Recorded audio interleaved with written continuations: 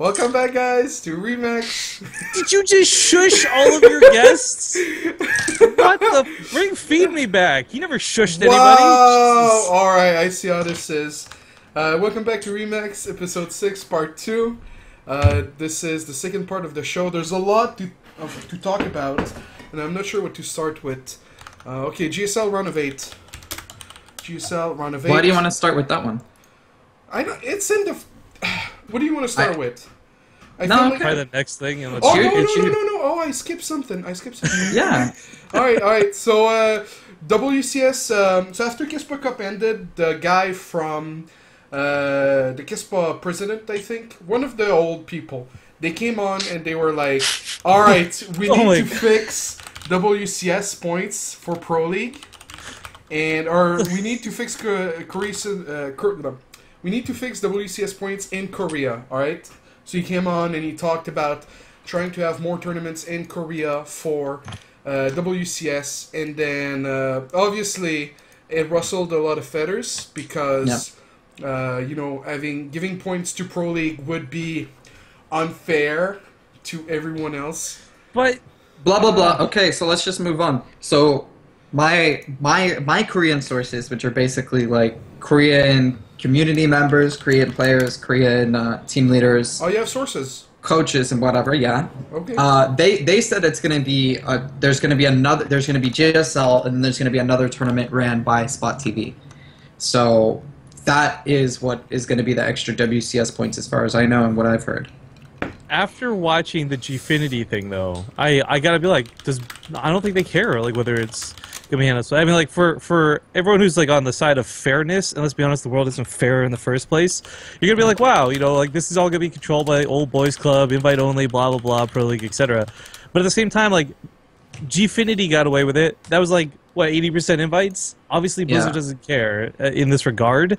So like everyone can make the big stink that they want to about it. I I kind of feel like at the end of the day, as long as there's good StarCraft on this on the stream, that's all anybody's really going to care about.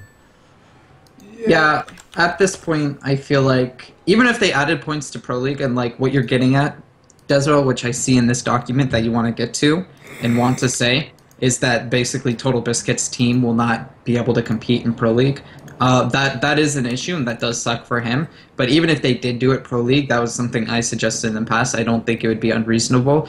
Basically, with WCS in general, whether it be region lock or points or whatever, there's there's never going to be a perfect system. There's always going to be someone that's going to be able to complain and bitch. And uh, it does suck for Total Biscuit. I understand his point, and I think anybody else in his position would do the same. And he is more justified, uh, as Rifkin said, uh, because he has done so much for the scene in every single way. Um, but either way, if they add points to Pro League, they do the SPOTV side tournament as well as GSL. Um, it doesn't really matter. I think Korea will be taken care of, and uh, we'll still see really good games, like uh, Rifkin once again said. Um, what about the points given to Red Bull? Do you guys agree with that? Uh, I mean, I I don't We're know the full story on this. Can you give me don't- the a quick brief? So I- uh, basically, there's Red Bull DC happening this weekend. Yeah. There was two invite players parting SOS. There was a wild card slot which was uh, Trap. There was Polt from uh, Red Bull Yeah, the previous like Red Bulls. So- yeah. Then the second slot was uh, TaeJa at at Yeah, yeah. Detroit. Anyway. So all of those players are not allowed to earn points unless they make I think it's top four, and only Scarlett, DRG, and Cure are are given points if they finish fifth to sixth to seven to eight. Since they qualified for it, so only top four gives points unless the players who like recently qualified for it finish top eight. This is so ridiculous. Like, this is comes back to what I just finished bringing up with the whole like Gfinity thing. Like they were okay Yeah. handing out WCS points like candy there. at, at this point, I know Blizzard released like a rule set of what a tournament had to be to get WCS points, and it had to have a certain number of qualifying spots for, or they had to have a certain number of like open bracket slots and blah blah blah, whatever you know, all this ruling. But they've come so far at this point where they've like totally taken that and thrown it out the window. Like WCS, pretty like Blizzard can just say this tournament gets this amount of points, that tournament gets a certain amount of points, and other than that, people can't really say shit. It's Blizzard. Mm-hmm. It's their tournament. They can assign however many points they want to, unless they get like unrealistic and you know go for SC2 Sunday Finals is like 2K WCS points for the winner or Oh something. god. I mean, at, at this point, I think they they realize it's a big tournament. Uh, WCS points are getting down to the line. Like, imagine if Scarlett wins it and she gets 750, and then she has like a realistic shot at BlizzCon if she does well in another tournament. I don't know. It doesn't really matter. I think it's fine. You think they were like, wow, we're giving 50k for StarCraft 2 to the winner. Can't you just throw us some uh, Yeah. WCS points? Of course, of course, anybody at Red Bull's gonna fight to try to get WCS points. It does, like people say, it doesn't make their decision as what as far as like whether they watch a tournament or not, but it definitely adds a level of hype. Like if Scarlett makes it to the finals, I don't know what points she's at, but she definitely needs WCS points, and that's just another storyline that can be added to a tournament possibility. So, uh, yeah, of course they fought for it, and I think they somewhat deserve it. All right. So, um, Total Biscuit salty as usual. WCS points possibly to Pro League.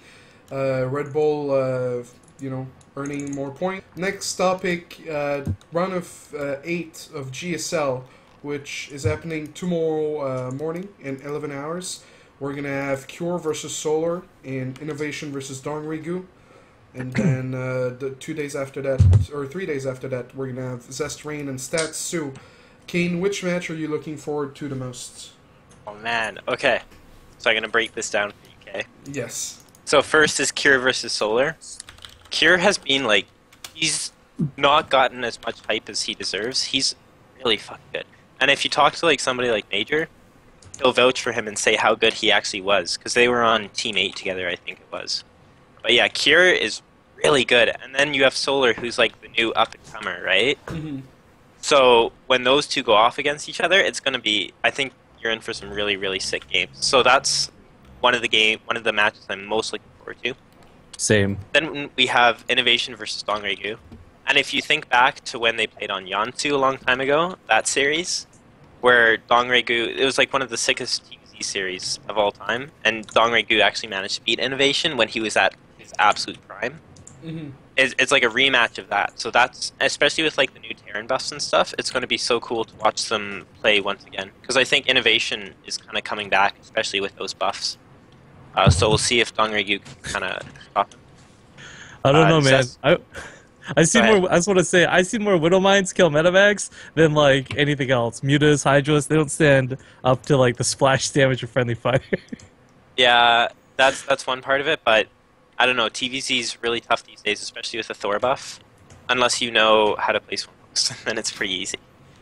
But, uh, uh, and then I don't know much about I just know that Zest and Rain are also like Rain apparently had one of the best PvPs at one point, and Zest is looking unstoppable these days. So that's going to be a sick match for Protoss. and then Stats versus soO. Uh, I'm a little bit afraid of what might come from this match since we saw soO get demolished by Super.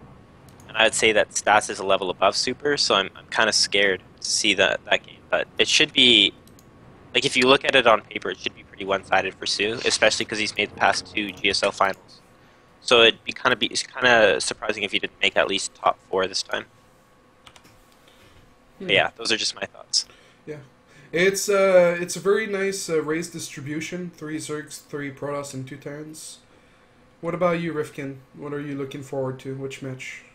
Man, okay, so Kane already sold you guys in Cure versus Solar, but I want to talk about this just a little bit more because, like, Solar, yeah, Brandon is the up and comer and he's newer and all this other stuff, and Series versus Tasia, but Cure, I was like, Cure doing some of the craziest games. Like, okay, so there's a map we cast for the IEM Toronto qualifiers. It's Cure versus Curious, and Curious has got some sick TVZ or ZVT, right? Mm-hmm. He actually comes back from like a 1 1 versus 3 3 deficit makes Cure play like 20 minutes defensively, and still Cure wins that game. Like it's Cure can do some crazy things, and from the games we've cast of him, and there are vods, plenty of vods available. Um, from things we've seen with him, like he is good. I think impress people in this tournament. Whether he gets past the semifinals because he comes up potentially versus Innovation and TVT's TVT, I don't know. But um, yeah, I think Cure versus Solar is easily my favorite quarterfinal match, like without question. There's just so much more with these two guys being the underdogs fighting each other than you know you've seen a million games of innovation type thing. What about you, uh, Chris? What's the match you're looking forward to? Obviously, I'm looking forward to the PVZs in the PvP, or the PVZ in the PvP. Um, I- I really don't care about any other thing. I, I, I, I mean, I would, I like, I like hope. Uh, What what Solar kind of Winds final and- would you like to see? I'm like, I don't know. That's too hard. I just hope I like Dongraegu pers- as like a personal friend more than the other kids in the top bracket. So I hope he does well. And then probably seeing Rain or Zest be dominant. I think they're they have the best shot. They're both really good players. Uh, obviously Zest is a monster right now, so he probably has the best shot. I would say. And he he just has so many builds and he has so many playstyles he can choose from. All right. Well, before we move on, personally, I'd like to see Rain make a comeback and win the season. Uh, just because I think that would push him enough to have to go to BlizzCon, and just so that uh, people would have faith in him again. Yeah, Rain is at uh, rank 20 right now, so if he'd win, he'd probably have enough points. I think. Yeah, that put Can him. we? at- what? Well, I was gonna say, can we all just like take a shot in the dark, dart, like close your eyes and guess who's like call it now, so we can link this VOD back later in case any of us are right. Oh yeah, sure, sure. Uh, Rifkin, who do you think's gonna win? I'm gonna put my money on innovation. Yeah. I don't know, man. I don't know. When's the finals? October I guess fourth. Yeah, maybe. What Yeah, you I mean, it's like gonna be calculating The bo- how much time he has? No, but like he's gonna join SKT soon. So there's a lot of rumors, and so that that gives him enough time to practice with like I don't know, Sorry and uh, all the people in the SKT house. He's gonna. I can I can see I think- Rifkin with that. Yeah, I mean, like the, the thing too is like the bottom half of the bracket's really scary. Like, I'm not even gonna be like full on Rifkin hates Protoss or anything like this, but like Zest, Rain, stats. Like, if soO actually makes it to the finals, like yeah, soO's got the track record and all that, but those are three just absolutely phenomenal Protoss players that he might have to go through any two of them, and it's. It's I, I I think if it comes down to a TVP finals, like I think it might be, I kind of give that one innovation. His uh, his TVP's been looking pretty good recently, in my opinion. Zest looks weak PVT too, Yeah. and well, he, he he he looked really weak against Flash, yeah, and then but, he didn't have to play it that much at KeSPA Cup. yeah, but we all know that Flash versus uh, Zest was rigged. So. What So, wh- where are you guys' predictions? What about you, HuK? Who's who's your favorite? I'm gonna say, I'm gonna say Rain. I think Zest is favored against Rain in this PvP, but I think Rain has the best shot at winning the whole thing. what about you, Kane?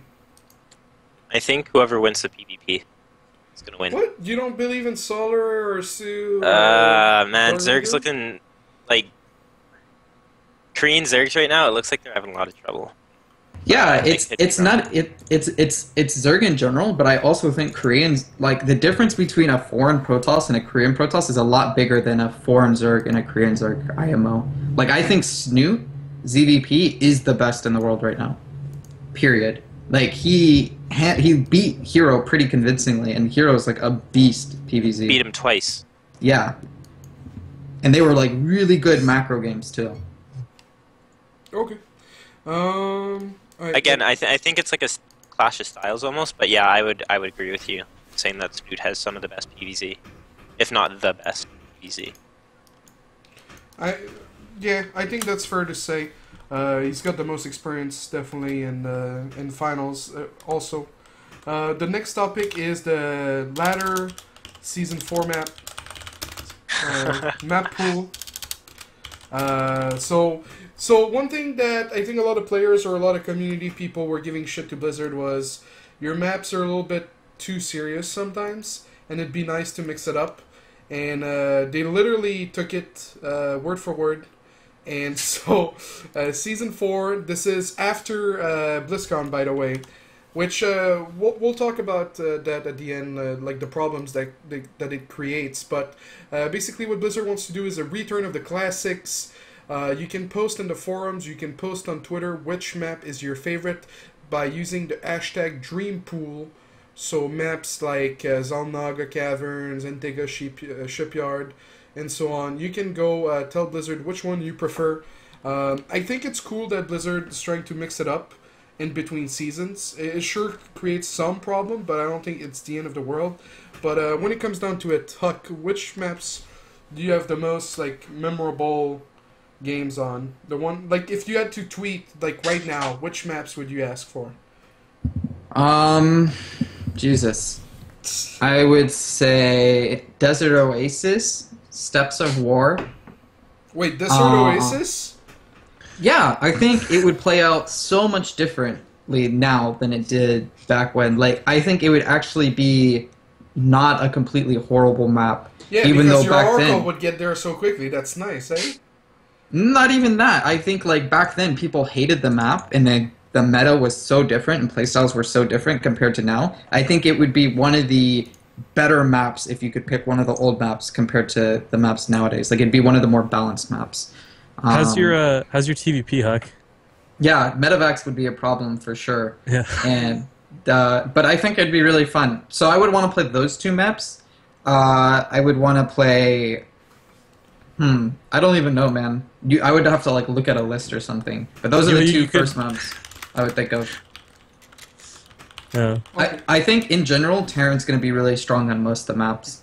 But that's But- always Well, how it is. Just, You just like the old days. Yeah. Yeah, no, you, you know, then you can like start naming like Antigua shipyard, just bring Blink back into favor, right? like, Yeah, Yeah, th- th- yeah there's a there's a lot a lot of things to think about but it it makes sense like if this is the most off season like like we have san jose or whatever possibly question mark that i know is going to be brought up later. But this is the most off season you're going to get for starcraft 2 so if they're going to do something like this it makes sense to do it now. And i think it'll be fun. And if you're like a pro gamer and you really want to play the old maps then you could still find custom games or whatever to practice on. So I think it's a really cool idea, and I'm I'm looking forward to doing it. And I think it'll be really cool for streamers too, Yeah, if you're streaming and playing on all the old maps. yeah, that's a big Return thing. of Spinacio on, man. Maybe maybe there'll be like a troll tournament too on these old maps just to see and fuck around or something like that. I think that'd be really cool. I don't know. I think it's They've fun. done that nice. before as well. Yeah. right. done- Actually, Go ahead. Oh, I was gonna say that's what we've done for our show matches today. Like prior to, I'd say the last two months, every show match we had had at least three maps in it that were either old or weird. And we we've done things with like um, Cloud Kingdom and and whatnot in the past. And I mean, it seems really cool because it's so like at first glance you're like, oh man, it's been so long. But really, I look at this and I'm like, this actually added no extra value. It was kind of interesting that the games were pretty much played out the exact same way I think they would have been played out on some other maps. There's definitely some influences like you know, Cloud Kingdoming um, certain matchups. But I gotta be honest, I look at this and I'm just like, yo, did Blizzard just give up on making maps? Like, because I mean, it's been going downhill, right? There's the complaints about them getting bigger, and they kept getting bigger, and they kept getting bigger. I mean, ZombieGrub and I have talked in the cat past too. Like, do you remember when Whirlwind was considered a huge map? Yeah. That thing's like like a fourth of the size of Ultra Z. Like they've taken it to such an extreme now. I almost feel like they're doing this not because like I'm not saying they're stupid and they're out of ideas and they don't know how to make maps anymore. But I kind of feel like this is like all right, we, we've hit our critical mass. Let's calm down for a while. Take a lot of extra time to think about this. What can we do in the downtime? Bring up the old maps instead of making new ones. I don't know. Yeah, I, I definitely understand the other side of the medal for sure. Um, and but then again, at the same time, like it kind of gives them more time to have a quality map pool instead of trying to rush things and come up with like decent maps for the new season. Because I one thing that I would like with uh, next year is to start with a fresh map pool. Like Yeah, but I think that's that's that's what I would think they're doing is it's they actually put a lot of work into choosing maps and the process that they go about that. And to come out with new maps right after BlizzCon is kind of useless because there's not going to be a lot of tournaments. It's not going to be like showcased that well. A lot of people, like I know a lot of pro gamers from NA and EU are going to kind of take a break, probably play like other games, study, go on vacation, whatever. So it's kind of useless to come out with like you know three new maps that people don't really play that much and then you're unsure about them and you don't really have the effort to justify the means in uh in, in the new maps so i think Well- it's i think it's a cool idea and i'm sure they're going to still be working on new maps while this season is going like happening Right. but it buys them it buys them time to be more dedicated to finding those good maps for for the new wcs season next year Well, to touch on Desert's point, like if that means that they come up with a brand new map pool, I'm not talking like, you know, three new maps, so like a whole new map pool. I would actually be in big favor of the extra downtime if that's what it means, because I mean, every season, and I've talked with several people, like combination ESL and players. Like it's it's it's almost like a joke at this point. Like, oh, new season comes out. How many times have we seen Overgrowth be map number one and King Sejong be map number two? Right? Like,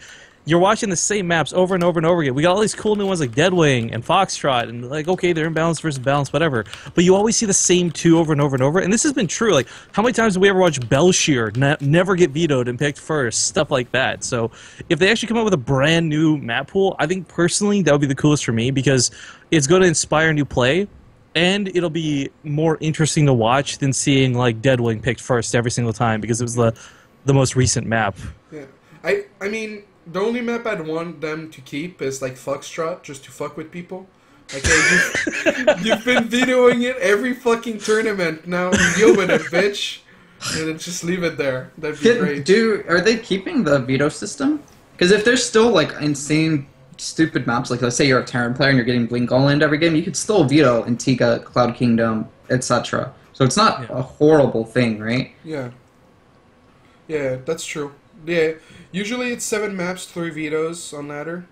Yeah. Um, but yeah, no, it's um, and one thing you you talked about was uh, it'll be good for streamers, and that's one thing I was pushing to Blizzard like uh, a month or two ago. Like you know those crazy maps with the lava and the bridge with the timer and everything. Like Yeah. just make something that we can fucking dick around with. Like just have fun. Like I know Yeah. ladder is not supposed to be fun, but try. you gotta try at some point. What about you, Kane? Right now, two maps you want to see back. Hashtag uh, Hmm. dream dream map pool. Is that the? I want to see dream uh, pool.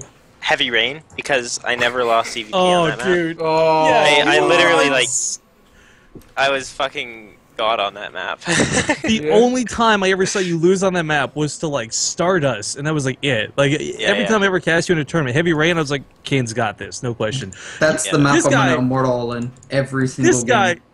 Dude, Kane. I want to give him a bit of a credit here. Kane goes swarm host against a guy, a Protoss like Sky Titan. I think it was, uh, if I'm not mistaken. Yeah. Titan goes like just mass carriers, mass Tempest, like everything in the air, not a single ground unit. Tempest goes, or and Kane goes swarm host and wins that game. Like I just want to say, like it's.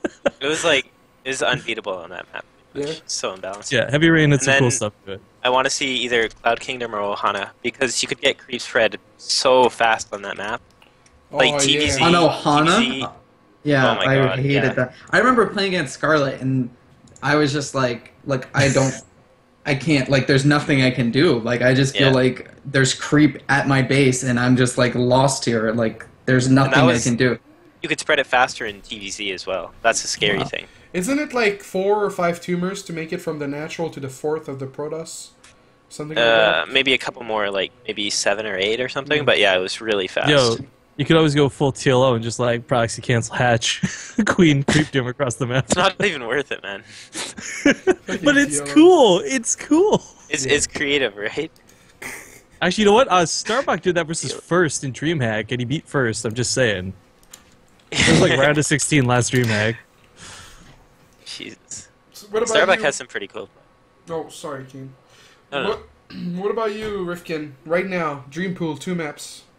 Man, see, this is the thing. You're, I, I, I'm like so Mr. Negative and opposite about this. Like, I wouldn't pick two maps. I would just pick the maps I don't want to see, and that's the ones that were picked every fucking season. So, like, Belshir, get the fuck out of here. Ohana, get out of here. Uh, Overgrowth, King Sage, like, get out of here. Like, anything else, I'm actually legit happy with. Because of course I cast a lot more than I play. I'm a shitty player, whatever. But um, from what we see, like I would just not want to see the ones that were played all the time. We've already seen them a million times through the previous seasons. Bring back the ones that we didn't get to see a lot of. What about the team uh, team game maps? Who, who the fuck cares? Go away, I hate you. Um, I think. Uh, Yo, person- learn to two racks, desRow. That's all I'm saying. Fuck. God damn it. Uh, I think Shakuras would be would be legit to play, and I think Tal'Darim with the no rocks at the third would be legit with the current meta. I would hate Telder Telderum so much. Why? PvP, it'd Oh. be so bad. But if- with photon overcharge, it's so much better now. Mm, Yeah, maybe I guess. Like, look at Nimbus. Like, sure, there's a ramp, but Force uh, Forgate doesn't win every game. Like, it'd be similar with. Uh... Yo, you guys remember that map that was really similar to Nimbus, Crevasse, with Tidra and Cruncher and the Smiley, and those were the good Man, I always I always thought Alterzim was more similar to uh, Nimbus. Yeah, fuck Alter Z, man. It was like fucking a minute to cross the map. Such yeah, a- it's, it's too big. Yeah. That and like Way Station with the top left, bottom right spawns, they went too far with that. Actually, you know what? I as much as this map was picked, I'm gonna recant my statement. I'd like to see Akilon come back because Akilon gave some of the most epic games. Yeah. Oh yeah, no. and One thing I liked about it was the force fields and the roaches and the rocks. You could kill some uh, serious amount of units with that. Oh, yeah, yeah, I remember. Yeah. I, I wish Blizzard would try to, or map makers would try to uh, put that back in. I, I was really shocked when it really like needs uh, force fields to die or a fungal. Like, what do you guys think about that? Just off topic, like the rocks that it, it needs to be like static there to die, otherwise it gets pushed away. HuK, I'm not sure what you mean. you know, like when you kill the rocks, right? You know when the rocks roll over, it needs to be trapped in a force field, or it needs Oh, to the be units. fungal The- to die. sorry. Oh yeah, Yeah, I thought you were talking about the rocks. I'm like, why the fuck are you fungling rocks, idiot? What do you think, Chris? Do you think it's legit that you have to block them there for them to die? No, I would much rather. I think it'd be a lot more exciting if it uh, if it just killed them and you didn't have to force them and it didn't shove the units out of the way. Yeah. Because it's a lot scarier and a lot cooler when you have moments like that than when you have to physically, Make it Fucking- happen. Yeah. yeah. All right. yeah, like um, you know, you talked about the lava map a moment ago. It's kind of the same concept, right? Like, Mhm. How sick would it be if you just like force fall someone off and they die in the lava? You're like, no, you're not coming with me, man. Just fucking die, motherfucker. that's that's one of those moments where you're just like, fuck Protoss, dude. Like, for real. Yeah. Yeah. Um. So next topic we have. Well, that's actually a really nice thing. Uh, IEM San Jose coming San up. Jose. Sorry, what? San What Jose. the fuck did you just say? Jose, This isn't man. Jose. San Jose. Alright. Do you eat jalapenos in San Jose? Like, what the Alright. I've actually been to San Jose. It's a nice city, but it's it, it's kind of sucky because they're really Is that close- because you were pronouncing Wait. it San Jose the no, whole time? No, no. Wait, it's wait, like- wait, wait. What? You can say, I just heard you. You pronounced an H just now. Why the fuck can't you do that with other words? Man, fuck you. So San much. Jose? What if you gotta go to the hospital at San Jose? Like, how are you gonna ask for that? They're gonna be like, what the fuck? The the hospital in San Jose? Where's that? No, Like, I, I know how to do the H's. go back just- to Europe. Yes, it's hard to be French, guys. So uh, San Jose, I've been to San Jose. Uh, it's a nice city. It kind of sucks that it's close to the airport because if you're outside talking, literally every 20 to 30 minutes, you're gonna have to shut the fuck up for two minutes while a plane just goes above you. It makes a lot of noise. So uh, it's a, it's a weird city, but it's nice. And uh, so IEM is doing League of Legends and StarCraft 2. Um, a What, what I want I want more info though on how they're doing StarCraft 2. Is it like a because it, it's not going to be a regular WCS point tournament obviously since it's during the off season, right? Mm, yeah, obviously, but Is it going to be like I assume it's going to be a regular IEM tournament, which is good for us, I guess, because we'll get to go to it most likely. But I don't know. I I it they they made it seem very very special with the announcement and the way that it I don't know just happened. But I haven't heard any details on how it's any different than any other tournament besides being in a big stadium. Mm. Which for me as a player doesn't really mean shit because a lot of these tournaments where they've had them in big stadiums, like the Staples Center for the LoL tournament was really cool because they filled it up, right? But the, the, the ESL tournament they had in Germany or whatever, they had this huge stadium and they they had like a lot of the chairs and a lot of the fans were just on the field and there was just like chairs on the field. So it wasn't like they filled up the stadium and it was like, wow, this huge impressive thing. It was just like, okay, we're surrounded by empty seats and it's in a stadium, Yeah. and it's like, I mean, I guess it's like a hallmark because they're they can sell it enough people to book the stadium, but it wasn't like it was packed or anything. So that's not a selling point for me as like a, a, a player or a fan. Watch them do like three quarter of the stadium with LOL, and then like on the other half, yeah, No. like a little StarCraft thing. That that are you kidding me? That's what it will be, Yeah. regardless. Yeah, Hashtag though, are you MLG kidding me? Jokes. there's it's not like the only time StarCraft competes with LoL as far as fans or viewerships is when they don't they're not LCS players, and then StarCraft crushes LoL because no one gives a shit about LoL besides the LCS, but they're going to be LCS That's- teams. So Man, that's so much like StarCraft though. Like LoL's got that same dynamic where it's like if it's not a Korean team, like who gives a fuck? Like you've got LCS building hype and that's cool, but like without it, like no one really cares. Yeah. Well, everybody just wants to see the best, most popular players. I bet they wanted to do Fake Dota and. LoL, but uh, Riot said fuck that. I think yeah. Well, well, that's obvious to a certain degree at this point. But it, it's cool for it's cool for LoL to they start opening up back up into open tournaments because for a long time now Riot's had like this we're only gonna run it yeah Yeah, but I mean, they always like throw a ball at them. Like uh, there was IEM Katowice earlier this year, and then I think the year before they had like a DreamHack that that had LOL or something. They always let ESL like Mm. have one one off Well, event. Before there was a lot of tournaments where they ran a lot of the uh, LCS tournaments at different events. And then what happened this last year is they really restricted it. But then the team started to complain that they are not like it's cool to be a pro gamer and get to travel you know and play at like different tournaments meet different fans because a lot of the fans aren't going to fly to California just to watch an LCS game, right? And a lot of people are going to want to go to DreamHack and stuff or whatever, like this uh, San Jose event. So I think uh, it's a smart move for them.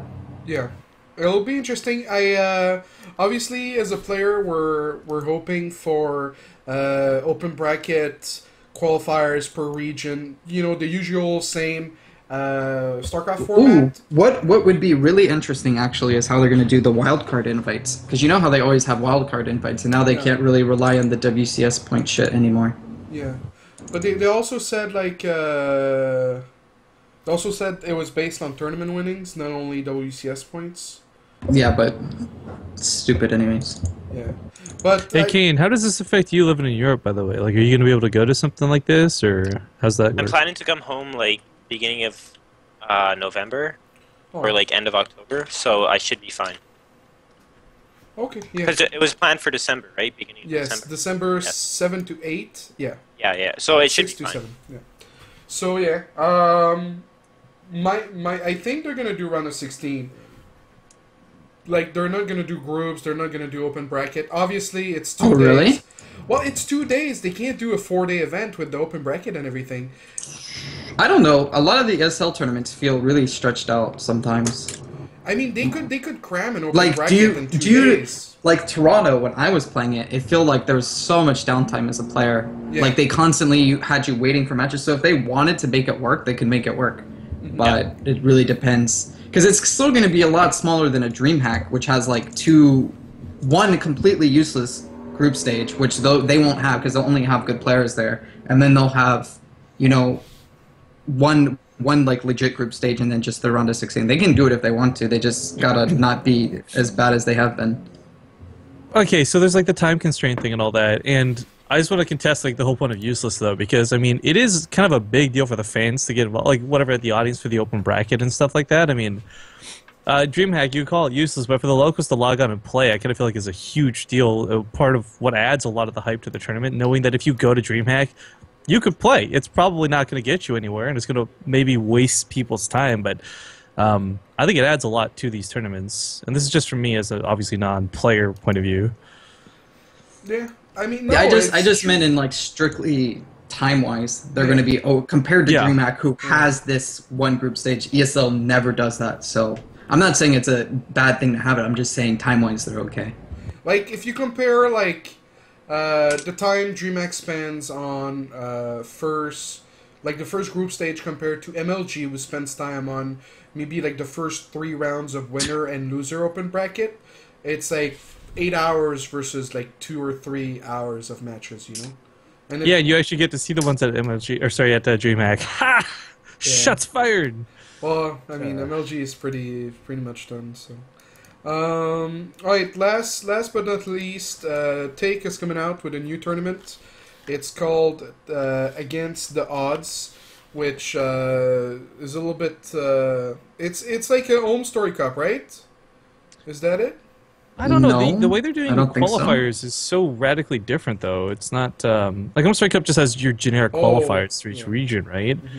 This is like really weird way of doing like uh, non-barcode like GM accounts and then like twelve invited players as well. I don't know. It's it looks really cool in my opinion. Okay, so they'll do three qualifiers in which the top two advance, as well as the top top six non-barcode EU It's online, Grandmaster. Yeah, it's online. It's for fifteen So it's like- It's like Destiny's tournament almost. Yeah, yeah, it's A little bit, yeah. Yeah, it's a fifteen hundred dollar tournament. Players like uh, Store, Harstem, and Impact has been uh, invited. So basically, uh, against the odds is just they're gonna have uh, good players, but that are not favorites, play versus really good players, and so it'll be like it'll basically be like uh, good players making it Well, I'm- far, and then possibly a couple upsets, right, Rifkin? Well, I'm really curious about Kane's point of view on this because this kind of reminds me of very similar to like Shoutcraft style, where okay, there's the chance like you can bank it all on winning a qualifier, or instead of playing any of the qualifiers, you could just like go ham on the ladder, right? And like we saw this on NA a couple times. Everyone's always like, you know, it invigorates the play style, but Europe's already got a pretty good freaking ladder in the first place. I don't think it's going to invigorate it or anything, but those top six slots, I think, are going to be really competitive. And I'm really curious on Kane's point of view for that. So so okay, tell me tell me again. What is this top six for? It's like Okay, if you don't have a barcode, you can you're invited if you're top six on EU Top six ladder. on ladder. Yeah, yeah. Okay, so you can so either yeah, play like, the qualifiers and do that, or either or or both. It's all up to you. and it would be like any any players in the top six, not just Europeans. It could be Koreans as well. Anyone yeah, but top six. what non-barcode Korean's gonna play EU ladder? It's stupid the way that the way the way they did the ladder invite though, because when Destiny did it and Shellcraft did it, they did it before the new season restarted. So there's it's up for grabs. They're doing it now, mid season. Grandmaster's probably full for one, Yeah, th- yeah. and for Yeah. two, you're gonna if if it's not, you're gonna get into the scene and you're gonna start playing, and you're gonna start from like like if I started playing right now, I don't have an EU account, so I would have like a 1400 bonus pool that I'm never going to finish, that I'm never going to have a shot. And the same thing with Koreans. Koreans don't have EU accounts, so they're never going to have a shot Yeah. at qualifying. Yeah, players like Hyun, 4GG are at the top of Masters right now. Uh, Jakshi, uh, is there? I think I saw Grubby somewhere in there, or maybe not. But yeah, there's a lot of players that are not in GM because of the bonus pool, because GM is full. Uh, so what's your take on it, King? I mean, I kind of agree. It's European ladder's already pretty competitive. Like a lot of some players don't really ladder like Harstem, and I don't think Mini Razor ladders that much, or they mostly play custom. So I think they would start playing more. But for the most part, it's already really competitive. There's a lot of really good players that always ladder, and you see them Yeah. quite frequently. Uh, it's not like any ladder where you're facing the same three players over and over and over again. Uh, there's a lot of different varied play styles, and yeah, it's. I don't think it would do much to invigorate the ladder. It's already pretty invigorated. Okay. All right. Any final thoughts, Rifkin? Are you gonna be? Are they casting in English or German? Are you gonna be the caster? I have no idea yet. I'm gonna suck a dick and see if I can be, but uh, I don't know. It, it it's cool. I, I just love because wait, Red Bull do the different thing with the best of wait or how was that the the, lives lives, thing? yeah. Yeah. How did they phrase that? It wasn't like a losers bracket or I don't remember. But yeah, the lives thing was kind of cool. So we got to see how things could be different. Then now we got this against the odds thing. Okay, maybe the ladder invite's a little bit wonky, but there's still qualifier slots, right? So it's I'm really excited to see how it goes. It looks cool. Okay. Fuck you, Chris. Alright, moving on. uh, moving on to the viewer questions. Uh, Chris gave me a little bit of crap here, so that's why I replied yes. Don't worry, we're still good friends. He's, I, this is not feed me number two. Um, alright. Calm down, Big Dez. No one was accusing wow, you. no, no, no. We don't start that here, bro. Alright. So, uh, viewer questions. Let me get to the Reddit thread. Oh, dear lord. It's at the bottom of the gutters. Man, partying having a webcam is more upvotes than us. We, we haven't made it, boys. Alright, viewer questions. Um, You're the front page of Twitch. You're complaining about not having made it. Shut up, desRow. alright. What do you feel about Richard and Steven's sequel to Unfiltered? Is there room for both shows in StarCraft 2? Well, I feel like their show is like one fifth of StarCraft, or like one quarter of StarCraft, so obviously there's room for both. Moving on. Oh, this one's good. And I actually am I'm interested in the answer uh, for personal reasons. What's the best way to improve, especially at a high level like Kane? No mention of HuK, but uh, Rip on, baby. Rex. and Right. it's uh, Prime Lot from uh, German Protoss, by the way. Shout out to Prime Lot, by the way. Yeah. Uh, go ahead, Kane. What what's the best way to improve at a high level? All right. Uh, it differs for a lot of players. Like different people learn differently, right? So I know, for example, when I'm in North America, I watch a lot of VODs, like a lot, a lot, a lot of VODs, because North American ladder isn't really good practice, and I don't get that good a ping to Korea. So I'll, I'll watch like every tournament, every single game, uh, stuff like that. When I'm in Europe, uh, I talk with a lot of players, especially in the myInsanity house. I'll play a lot of games. And since I'm in a team house dedicated to practice, I also do watch quite a few VODs. Um, for me, for me personally, the best way to learn is watching, and that's just like general gameplay stuff. But for mechanics and stuff, playing is always the best option. So it's kind, it kind of depends on what you want to work on, and uh, yeah, kind of where you are and the most efficient way that you learn. Yeah. Which which one is your favorite to work on? Mechanics, watching VODs, or well, obviously talking with people is a lot of fun, but you have to pick between the first two. I think probably watching, yeah, like there's nothing better to me than watching like a really good Zerg play. I learn a lot, just even in like cheese games or silly games. I, I do learn a lot from their play, so I would probably choose that. Yeah. I feel it like doesn't my feel mechanics. like homework to you. You're still No, no. interested every every No. time. yeah, I'm I'm interested in like whenever soO or Dongraegu is playing, like I'll almost always watch their games, and I always find it entertaining. But so, so your uh, passion is very strong then. yeah, I've never I- had a problem with like motivation or anything like that Okay. for sure. I have a question for Kane actually off that too. Um, what channel, like, uh, obviously it's gonna be like WCS. I'm not trying to float my own boat here or hope for an answer, but like, you know, what channels do you actually go to to watch VODs? Like, what's your best resource for this for the other people who want to hop on the Kane, I guess, training regiment? Do you watch anything? Yeah, so- everything. What? Yeah, like and why is it BaseTrade TV? when, whenever there's a tournament going on, I'll always take note of the streams that are casting it, and I'll try to make sure that they have like bots enabled, right? Mhm. When they don't, I'll especially when I'm at home, I'll always record it uh, with XSplit or with OBS or whatever you use. I'll always try to record it if they're not doing VODs, Yeah. or if they are, uh, I'll just wait if I can't watch it live. But yeah, I I usually prefer to watch it live because it's more entertaining for me, uh, Oh. and I end up sometimes I when I watch VODs I skip over because I'm a little bit not bored, but just I want to get to the good parts of the game, so I'll end up skipping stuff, and sometimes that stuff is a little important. Yeah. Uh, so I prefer watching it live, and yeah, just whatever streams are are casting it, I'll always take note of which ones. What about first-person streams like Saxtree or uh, Jan? Actually, Jan hasn't streamed in forever, but Mm, it's it's unreliable sometimes because they don't show their best play sometimes, especially if it's like before before a tournament or whatever. But uh, yeah, like if it, and recently there haven't been many good Zerg streaming, but when there is, I'll always tune in. Yeah, for sure. have you recorded those? Yes, yeah, absolutely. Uh, especially like Dongraegu and Hyun, I always recorded their VODs. Yeah. I I think that's what I'm gonna do with Myungsik or Parting. Sometimes it can be fun to watch, but they're And if you have a if you have a second monitor, it's also really easy to do because you can do shit on your first monitor while you record on the second.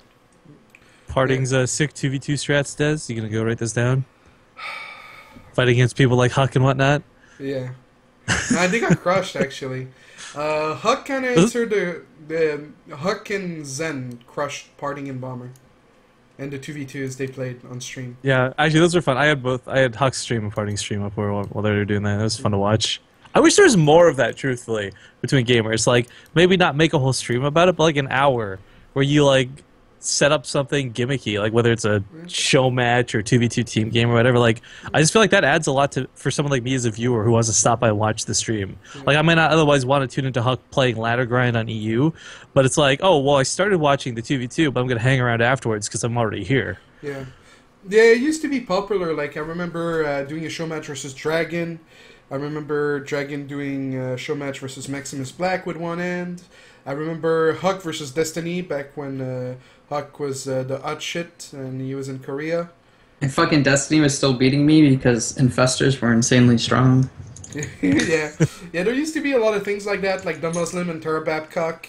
Obviously, Demuslim had uh, interests there, but uh, HuK. What about you? You've talked about it a little bit previously, how to improve um, as a good player, even though you weren't asked maybe uh. Yeah, I don't want to give my fucking sage advice to this Is guy he- that doesn't give a shit about me. All right. Oh, so- are you are you even qualified to? I mean, Jesus, Yeah, you're. I mean, you're only round of eight in WCSNA, like right? Like that's not even finals. Who who cares? Like, Um, I, I'd say similar things that Kane said. Um, watching stuff is very helpful. I basically will watch all the Korean protosses. Uh, I won't. I most likely won't watch people that I think are similar skill or below skill than me. So like a lot of the DreamHack games, I don't give But a you shit still about watch my stream. Does that mean? because you're a personal friend. I it Oh. hurts me to say that, but fuck, I guess I just said it. Oh But, yeah, uh, I've made it. All right, keep going. but uh, I think you don't learn that much from a first person kind of view. So in general, I'll watch all the Korean games. Dream hacks and shit, I usually won't watch unless it's high skill. So like for IEM Toronto, I'll watch Flash First Hero or whatever like that. Uh, I didn't. I don't go to the extreme lengths that Kane does. That's really cool that he records games if he doesn't get a chance to watch the VODs or they don't have it as an option. Um, practice obviously helps a lot, and custom games help a lot. It really depends what you need to practice for. Like for me, starting tomorrow, I have to practice for my round of eight, and I'll know my opponent starting tomorrow, and I'll have you know like three weeks or something, two weeks to practice for it. So if it's like versus TaeJa, then I'll search for TaeJa games and I'll watch all of his VODs for maybe last the last two or three weeks, and then I'll see if he has any weaknesses. I'll study them really. Like, I don't know if you guys watched the gym game when I played gym, but I played gym and he always proxy stargates on overgrowth at the same spot, and it looked like I fucking map hacked because my mothership went right to where he proxy gated, and I knew it was going to be there because he did it a month ago two weeks ago and a week ago at WEC, and he always proxies the Stargate there, and he always does that build on that map. So I knew if I picked this map, then he like chances are he'll probably proxy it. I, I, I scouted it, and it was like a free win. So it definitely pays off to study.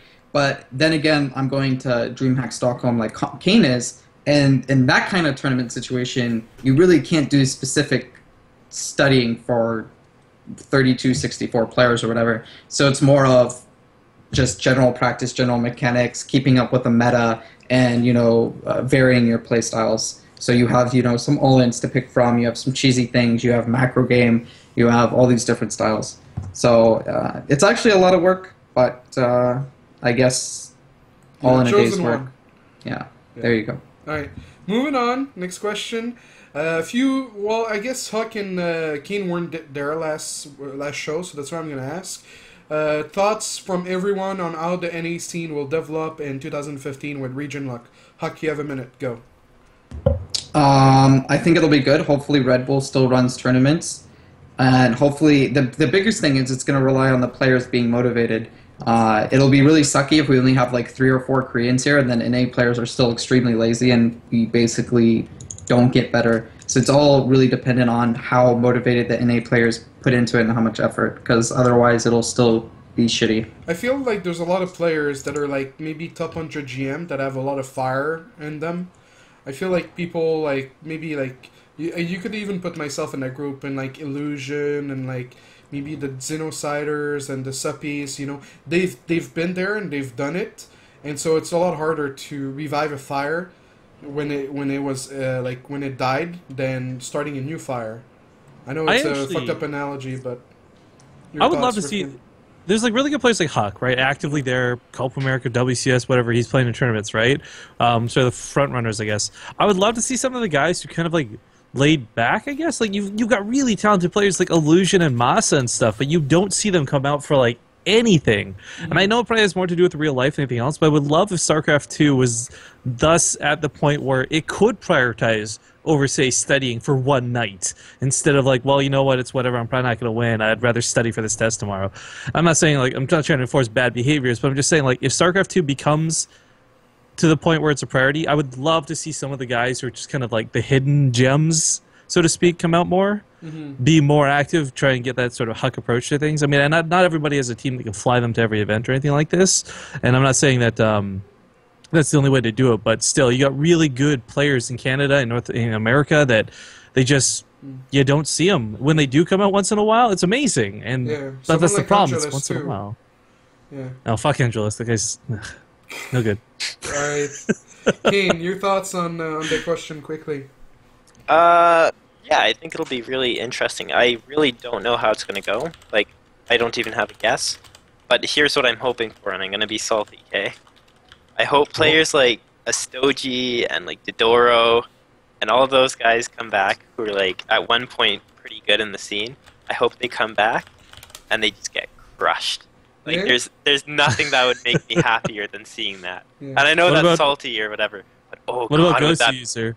Oh, Oh, yeah, my god, I, User. I cannot I cannot wait to see players like that get Man, you were friends absolutely with him. You guys had a. Skype group and everything. Yeah, we're we're we're friendly and stuff, but oh god. Can't wait. I, I, I, I, I generally agree with that because I feel like the game has changed so much. There's like the skill level has risen so far compared to when they were good that it's like even if they put in a lot of effort, it's somewhat likely that they just end up they come back in their shit. And you know, part of it is like, here's HuK and I, and we've been practicing ever since those guys left. We've been like working our asses off. Meanwhile, they've been off, like jerking off and studying or whatever. like you know, they've been Yeah. studying or working CS:GO. or whatever. Yes, playing playing other games, and it, it'd just be so fun to see that hard work really, really pay off and Yeah. kind of teach these guys a lesson. Know. I was thinking about that last week, or whenever like it came out. Like so many people, like uh, Kiwikaki, Slush. Uh, we lost so many. we lost so many players that just they wanted to play, but there was just no money to make NNA because MLGs were stacked with Koreans, and there was not a lot. You know, IPL switch switch from NA only to uh, worldwide very very quickly. So maybe maybe we'll see some old names come back. You know, it'll definitely be nice. Like I I kind of want to make like a Kiwikaki Smurf to start the hype, but uh, maybe you should do that, HuK, because you you both are crazy. But anyway, People already have. There's Yeah. already a Kiwikaki Smurf, and there's like a Ghost User Smurf. Can- There's a lot of different Smurfs right now. Yo, bring back all the Quantic Flow accounts. oh god, I think Yeah, yeah. Kiwikaki Kiwikaki's playing uh, Blizz Heroes. He's trying to make a Blizz Heroes team, so rip. oh rip. All right, uh, question from the same guy on Reddit, Cast Castative. Uh, he asked the previous question, and his question now is: uh, People never talk about this. I always face palm when I see players drink Red Bull or something ahead of a match. I just saw it again in WCSU. The sugar is just so bad for consecration. So, what are the people's opinion on that? Co- consecration? What is Consecration? consecration? That's a paladin spell. I'm just saying. Con- concentration. Yeah. There you go. Um, I I think it's uh, dependent on the player. I know Yeah. Stardust will drink a lot of caffeine and he'll drink coffee, Coke, whatever. Um, if I'm really jet lagged, day two of DreamHack, and like I'm s- I'm like literally falling asleep. It's better to be caffeinated and jittery than falling asleep. But generally speaking, my my perfect mood is like being calm and like collected and like not tired but not hyped up, not pumped up, not with like a ton of adrenaline. And I just play you know that most players play their best from home where they're really comfortable. So you want to mimic that experience as much as possible. And i think uh, caffeine doesn't work well for me but then again if i'm really really tired then i'm gonna i'd rather be awake than fucking you know sleeping. So it's dependent on what player i guess Uh, personally, my thoughts are uh, I feel like it's a dumb thing to drink in the morning at the start of a tournament. If I feel like I might make it to day two, then I don't want to have it because it's going to fuck my sleeping uh, pattern or whatever. But it definitely makes you play better. Like, uh, there's it pushes my APM higher, and I feel like I play better when I drink it. I don't know if it's mental or if it's. that I could mean, be like, placebo. what? That could be like the placebo effect, right? Yeah, it could be the placebo effect. I don't know. I just feel like uh, as long as I'm like not nervous and I I know what I've prepared, it just makes me think faster. I feel like wow, this game is so slow. Like let's go, let's fucking build the next Nexus and shit. What about you, Kane? How do you feel about? I think Adventure HuK pretty much nailed it with uh, it's player dependent. Like if that's what you're used to doing, you've done it before, go for it. But uh, if you've never had a Red Bull before, this is your first one. You might want to avoid that until after you're done playing. Mhm. Uh, Oh, okay. What about you, Rifkin? Do you drink Red Bull before casting? Does it affect I- you at all? I actually do, but it's only because I can't drink hot liquids, like whatever reason. So I can't drink coffee or anything to wake up. Uh, I will say though, the same thing kind of comes in. Like at the end of like an eight-hour cast, that that Red Bull you drink at the start, you're crashing hard, and your casting sucks for it. I can only imagine it's gotta be the same for players. We're like, okay, maybe it's good early on, but as HuK said, sometimes there's like 12-hour days. You know, you you played first, but you gotta wait for the finals type shit. And if you drink a Red Bull at the start of that day, oh, you're feeling like shit, like later on for sure. Mhm. All right, so a few questions on Reddit uh, or Twitter. Um, I don't know, like, I don't want to take a jab at the people that tweeted at me, but like, if we've talked about something and then you tweet the question, it kind of feels redundant. But I believe in, in you guys that one day our audience will have very good questions on Twitter. So we'll start with, how do you keep yourself motivated to keep playing games? I quit playing because of the stress slash motivation. HuK, what's your uh, what's your go to?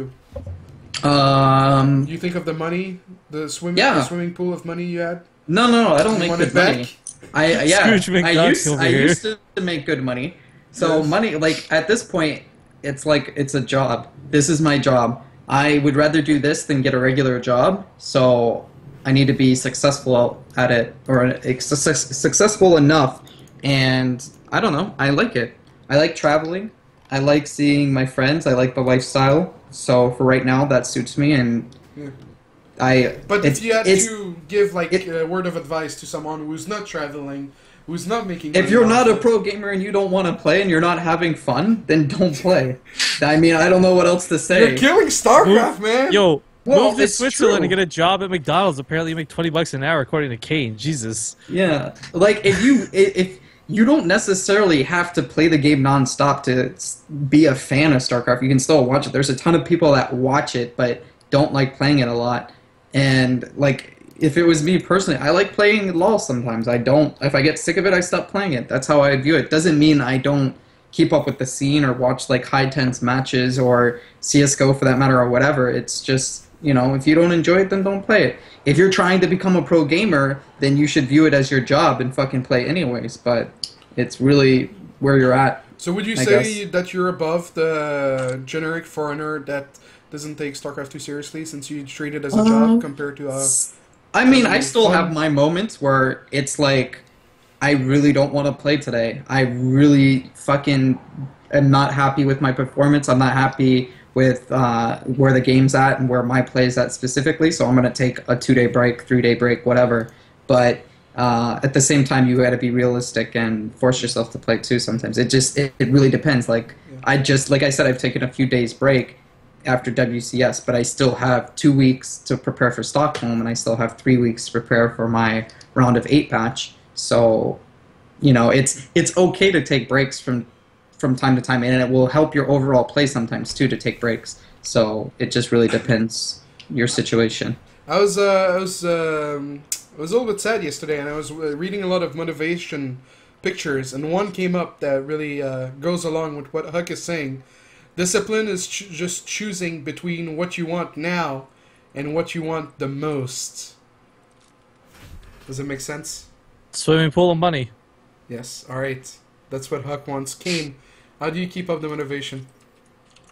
Uh, I mentioned this earlier, but motivation has literally never been a problem for me. Like, I I think that breaks are important, and sometimes I have to force myself to take breaks. But like, I've never, ever, ever felt like like sometimes when you lose a tournament, you're like, ah, shit. Like, should I be doing this as a job?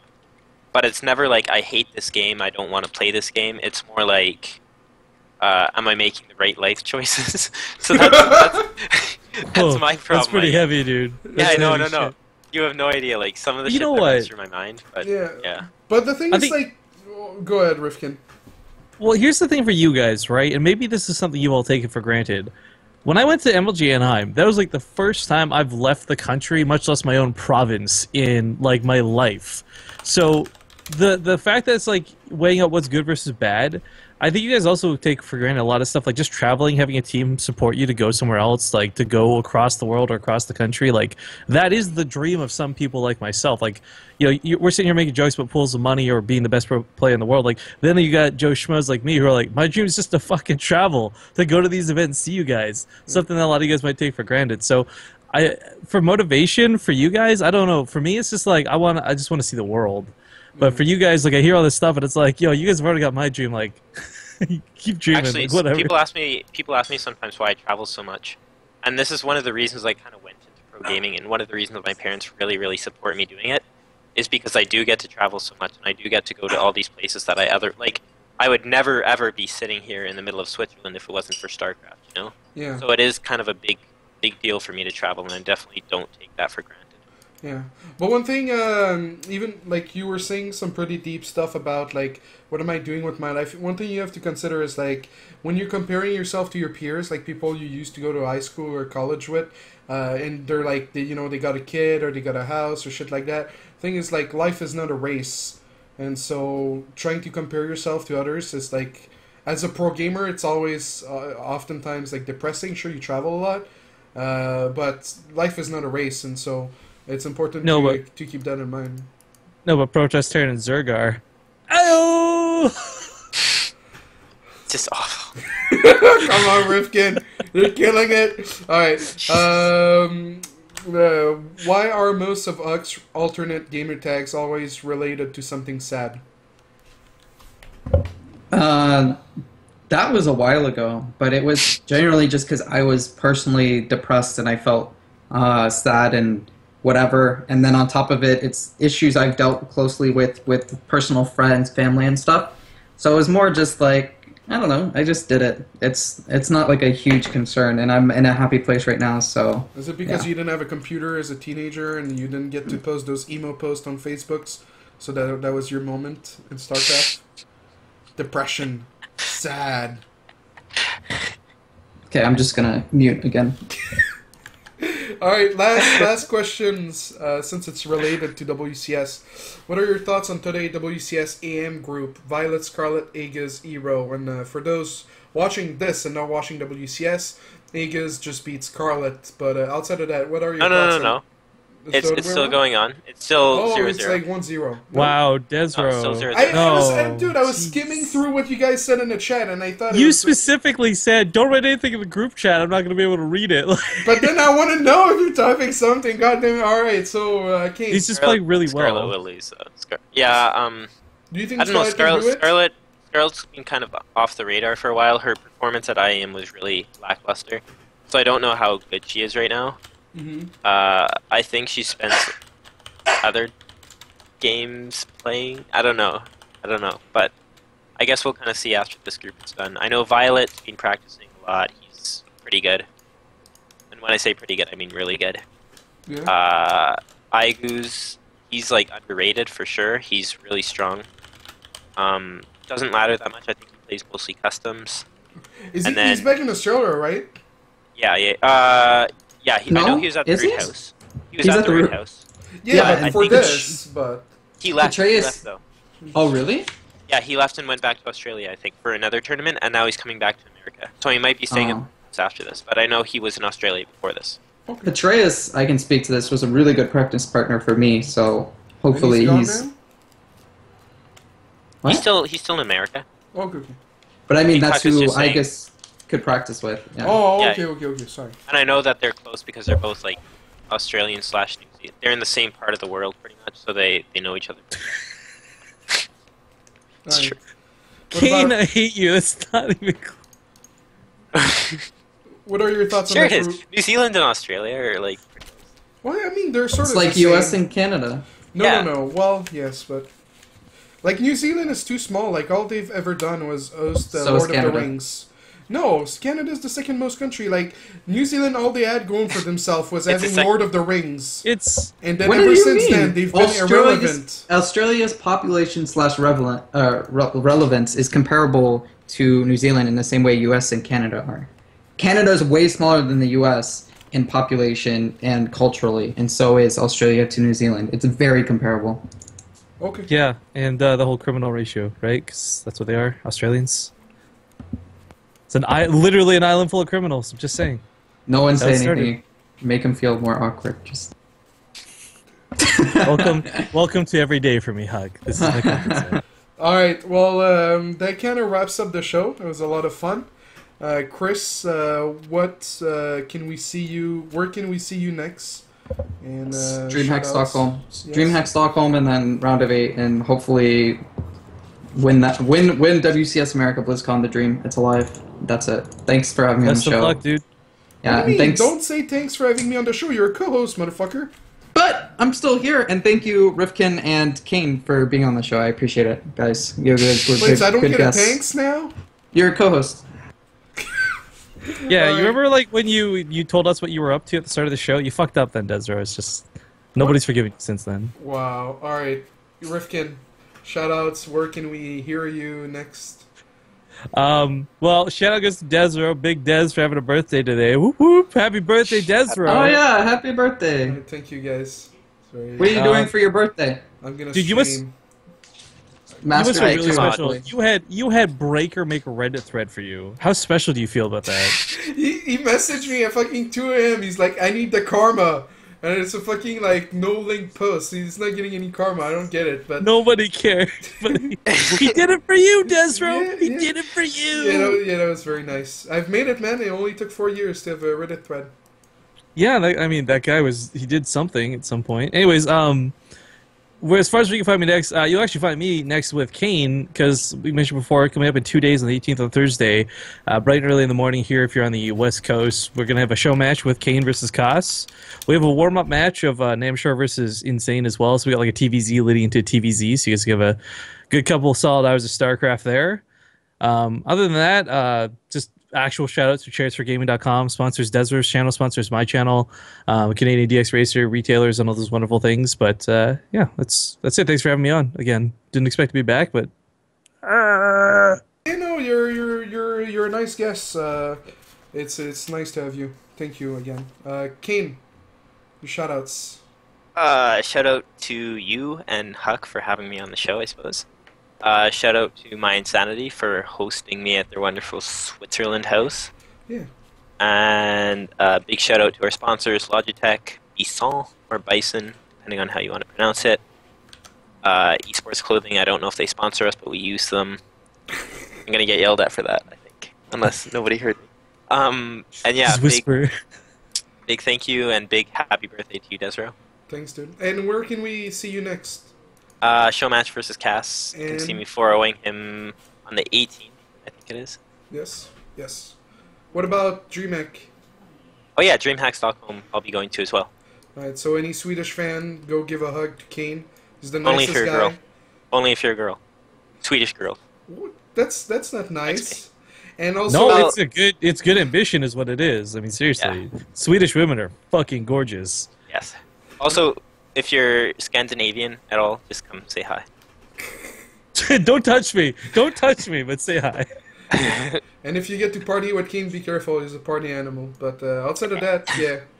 Uh, so that kind of wraps up the show. Uh, last words from me. Uh, I'll be streaming some team games if you want to stick around, even though there's WCSNA.